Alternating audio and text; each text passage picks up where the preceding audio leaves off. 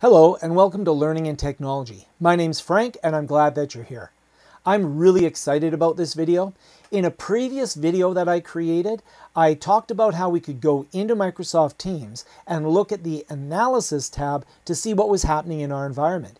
But in that video, I was sort of lamenting and saying, I wish I could look at individual student activity. I wish I could look to see what assignments students had handed in. Where are they interacting in my student classroom environment? Where are they going? What channels are they using? Well, I couldn't see that before because I didn't install an application called Insights. And that application gives me all of that. So I'm able to go in, drill down, and see exactly what the students are doing within my classroom team. It allows me to identify students at risk. It allows me to see what students are actually doing on the team site. It's really good. Now, it's only available for teams for schools, so it's an educational product, but it is super useful. So I, let's just go look at it. I think you're going to be as excited as I am about this.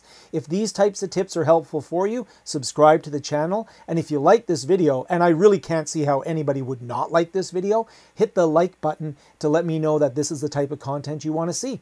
Let's go have a look at Insight for schools in Teams.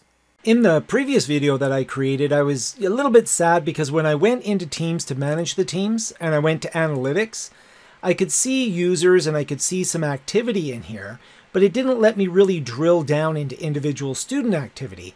However, I've discovered a fantastic add-in, a new app that you can put into your team in order to really enhance your ability to see what's happening with your students. So I'm going to go into the plus sign here and the app is called Insights. If you don't see it on your screen, you can just search up here for Insights. And when you click on Insights, you can add it to your classroom team. Now, this is uh, for education. So I'll go in here. I don't want to post it to the channel because the students can't see it. It's just the instructors. And when I go in here, I'll now have an Insight tab at the top.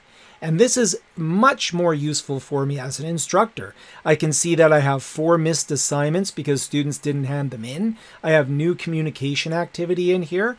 So I can go in and I can see underneath the communication who's been participating, how much communication. I just went in and logged in as a few of these uh, accounts so that I could do some postings in there.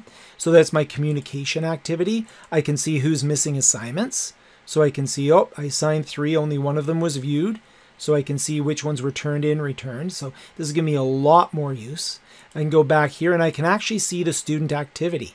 So now I can see with the students, I can see their activity, how long that they've been working here. So you can see all I did was click on and, and make a couple of posts for each of these accounts, but I can drill down into uh, uh, Diana here, who's Wonder Woman. So I can see that she visited the introductions channel. She visited the general channel and she posted two messages.